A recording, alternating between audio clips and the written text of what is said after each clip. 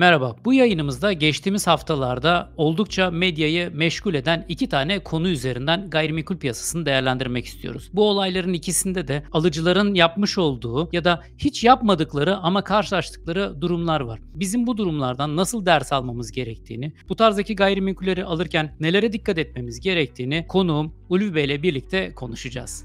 Sorularla gayrimenkul yatırımı güncellendi. Dördüncü baskısı yayınlanan kitabımızın içerisinde gayrimenkul yatırımına ilişkin bütün sorulara cevap bulabilirsiniz. Dördüncü baskıda dört konu daha eklediğimiz kitabımızı eğer satın almak isterseniz igede.com.tr adresinden GM okulu indirim koduyla %20 indirimle satın alabilirsiniz. Ulvi Bey merhaba, hoş geldiniz yayınımıza. Merhaba Celal Bey, iyi yayınlar diliyorum. Kolay gelsin. Teşekkürler. Şimdi geçtiğimiz haftalarda Abramovich'in almış olduğu köşke ilişkin bazı haberler çıktı. Biz de istiyoruz ki aslında hem sizin bölgenizde olan bir konu hem de sizin aslında potansiyel müşterilerinizde ya da çalıştığınız bölgenizde sıklıkla ortaya çıkabilecek bir durum. Biraz bunun üzerinden işlemek istiyoruz. Haberin içerisinde biz detaylı olarak bunları paylaşıyoruz ama bir olayın neler olduğunu da sizden duyabilirsek sonra detaylarına girelim hep birlikte. Tabii. Burası Vaniköy'de yaklaşık 10 dönüm 9000 küsur metrekare bir yerin içinde iki tane evin olduğu bir arsanın satışı ve bu satış sonrasında bu binaların niteliğinin değiştirilmesi suretiyle bir imar suçu oluşması olayıdır. Olayın eskisini de biliyorum ben. Buradan Adnan Oktar çıktığı tarihte o zamanki mülk sahipleri beni de çağırdılar. Bir basit ekspertiz yaptık. Benim basit ekspertiz yaptığım dönemde burada iki tane bina vardı. Tam detaylarını hatırlamıyorum hatırlayamamakla de iki tane legal 200'er 250'şer metrekare bina vardı. Bu Boğaziçi imar mevzuatına göre binaların kontur gabaleriyle, kontur ve gabarileriyle oynamanız mümkün değil. Yani en boy yükseklikle oynamanız mümkün değil. Dolayısıyla bunun aynı şekilde ihya edilmesi gerekirken Abramovich'in burayı aldıktan sonra bunun daha başka bir bina şeklinde yenilenmesi basından izlediğimiz kadarıyla söz konusu oldu. Birincisi ben Abramovich olduğunu bilmiyorum açıkçası. Yani ben o zaman Abramovich olmuş diye bir haber çıktı ondan sonra başka bir Rus iş insanının olduğunu düzeltmesi de çıkmıştı. Dolayısıyla bildiğim kadarıyla başka bir Rus iş insanının yeri burası. Boğaz'da iki tane temel mevzuat vardır. Bir 2960 sayılı Boğaziçi İmar Yasası. İkincisi de 2863 sayılı Kültür ve Tabiat Varlıkları Koruma Yasası. Bu iki mevzuatta Boğaz'ın doğal ve kültürel yapısını korumaya yönelik düzenlemelerdir, kanunlardır, özel kanunlardır bunlar. Burada bir tarihi eser olmadığı için buradaki düzenleme 160 sayılı mevzuata aykırı işlem nedeniyle işlem yapılması ve ilginç olan bugüne kadar denetim yapmayan bir mekanizmanın Çevre ve Şehircilik Bakanlığı'nın ekiplerinin denetim yapıp da yıkım yapması ilginç olan burası oldu. Şimdi tabii Boğaz'da mesela bir ilçenin içerisinde geçiyor ama aslında imar kanunu kapsamında burası Boğaziçi imar kanununa dahil olmuş oluyor. Yani Üsküdar ilçesinin içerisinde geçiyor bile olsa ön görünümde olduğu için Boğaziçi İmar Kanunu mevzuatı kapsamında değerlendiriliyor. Bu tarzdaki yapılarda tabi dediğiniz gibi en boy ölçüleriyle oynanmaması, küçük çaplı tadilatların yapılması ya da yerine göre tekrardan yapılması gerekiyorsa bu defa uygulamanın usulüne uygun olarak yapılması gerekiyor. Yapının bahçesinde bulunan eklentilerde de herhangi bir değişiklik yapılmaması gerekiyor. Hatta benzer bir durum da geçtiğimiz hafta içerisinde yine medyada oldukça haber olan bir durum vardı. Onda da Şahan'ın sahip olmuş olduğu, daha önceki bir tarihte aldığı Marmaris'teki bir konutla ilgili olarak. Konut daha önceden 85 metrekare ölçülere sahip bir iskelesi var. Kendisinin e, haberinde, videosunda vermiş olduğu bilgilere istinaden söylüyorum. Almış olduğu tarihte de yapı kayıt belgesinin olduğunu yani imar barışı kapsamında başvurunun yapılmış olduğuna ilişkin bilgiler vardı. Boğaz'da da buna benzer durumlar karşınıza hiç çıkıyor mu? Yapı kayıt Tabii. belgesine sahip gayrimenkuller. Önce şunu belirteyim. 2960 sayılı kanuna göre 4 tane ilçe yani Üsküdar, Beykoz, Beşiktaş ve Sarıyer ilçesi bundan etkileniyor. Öngörünün bölgesi ve kıyı şeridi dediğimiz sahildeki yerlerle ilgili bütün imar düzenlemesi Boğaziçi İmar Müdürlüğü'nün kontrolü kontrolünde yani Büyükşehir Belediyesi'nin emrinde. Geri görünüm ve silüet alanı dediğimiz yerlerde ise yine Boğaziçi İmar mevzuatının hükümleri amir olmakla birlikte ilçe belediyeleri etkili. Evet, bu açıklamayı yaparak başlayayım.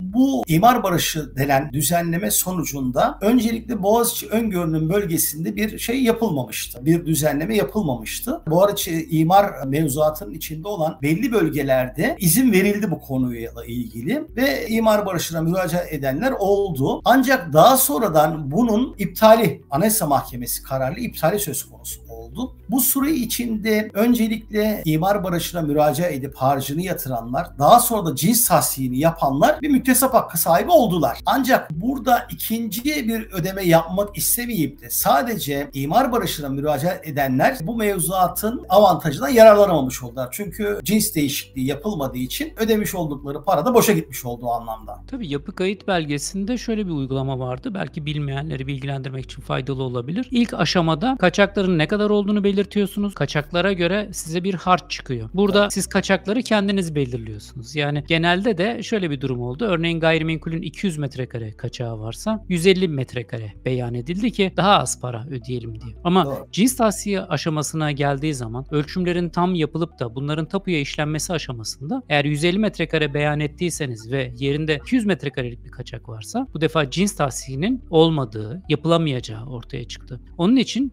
baştan başvurunun doğru yapılması, cins tahsiye aşamasında da o kayıtlara göre işlemin tamamlanması ve tapuya tescil edilmesi gerekiyor. Yoksa tapuya tescil edilmeyen yapı kayıt belgesinin de bu anlamda çok fazla bir etkisi olmamış oluyor. Tabii. Şimdi siz de biliyorsunuz e, imar barışında 3 tane temel avantaj söz konusuydu. Birincisi bu tür yerlere yıkım gelmeyeceği. İkincisi elektrik, su, gaz abonelikleri gibi işlemlerin kolayca yapılabileceği. Üçüncüsü bunlarla ilgili bir hapis cezasının söz konusu olmayacağıydı. Ama tabii burada belli bölgelerdeki istisna hükümlerindeki düzenlemelerde bu bir anlam ifade etmez oldu. İşte bu Boğaziçi imar bölgesi de bu bölgelerden biriydi. Dolayısıyla bu ikinci aşamadaki cins değişikliğini gerektiren işlem süreci doğru işletilmediği takdirde ilk işlemin bir anlamı olmadı. Ama başka bölgelerde bir anlamı olmuş olmakla birlikte Boğaziçi imar bölgesinde bir anlamı olmamış oldu. O zaman bu tarzda gayrimenkule yatırım yapacak olan kişiler daha önceki sizinle yapmış olduğumuz videolarda bahsettiğimiz gibi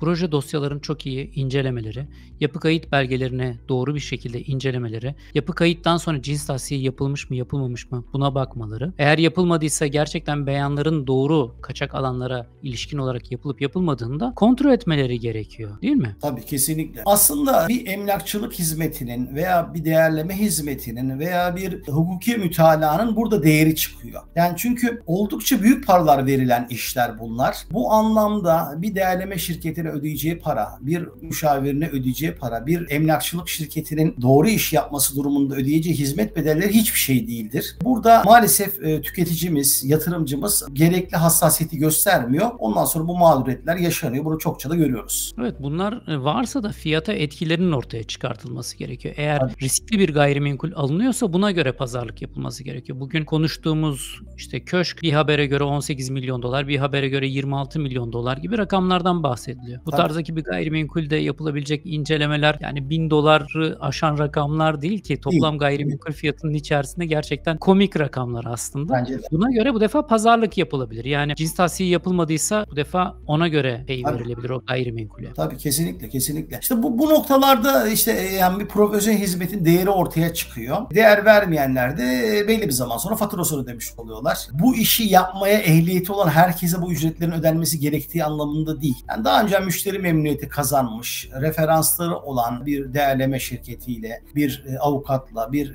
emlakçılık firması çalışılmasının önemli olduğunu altılıyor. Yoksa sadece bu işi yapmaya ruhsatın yeterli olduğunu ben şahsen düşünmüyorum. Çok güzel Ulvi Bey. Güzel özetledik. Bence önemli bir durumu ortaya koymuş olduk. Pahalı gayrimenkullerin, lüks dediğimiz gayrimenkullerin satışında dikkat edilmesi gereken birkaç hususu daha ortaya çıkartmak mümkün oldu. Ya bu şunu da göre tadilat yapmıyoruz. İlgili kanunları biliyoruz. Yapı kayıt belgelerini gördüğümüz zaman ne anlama geleceğini iyi araştırmamız gerekiyor. Yatırım kararımızı da bunlara göre yapmamız gerekiyor. Burada şuna dikkat etmek gerektiğini düşünüyorum ben. Boğaziçi İmar Yasası ve Kültür ve Tabiat Varlıklarını Koruma Yasası 1983 yılında çıkan mevzuatlar ikisi. Yani 40 yılı geçti. İstanbul gibi bir kentin korozyon altında olması ve deprem riskinin olması bu şekilde bir düzenlemeyle bunun e, sürdürülebilir olduğunu bence yeterince sağlamıyor. Çünkü bu işlemlerin yapılmaması halinde yani bu takviyelerin, yenilemelerin yapılmaması halinde konuşulan İstanbul depremi bu bölge için de yıkıcı olabilir. Maalesef yani topografik yapısının sağlam olması bence yeterli koruyucu bir durum değildir. Bu anlamda yetkililerin de bir düzenleme ile ilgili ilgili bir geniş konsensüslü bir çalışma yapmaları da gerektiğine inanıyorum ben. Evet tabii bunların gerçekten yenilenmesi gerekiyorsa hangi kurallara göre yenileneceğini bir yeni güncel standartlara göre tekrardan belirlemek Tabii. gerekiyor gerçekten. Çok teşekkürler Ulu Bey katıldığınız Ben için. bu teşekkür ediyorum. İyi yayınlar diliyorum Celal Bey. Güzel günlerde görüşelim.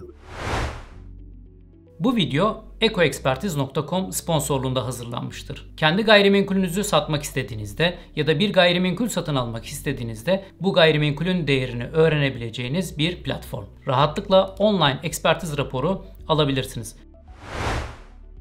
Bundan sonraki videolarda görüşünceye dek hoşçakalın.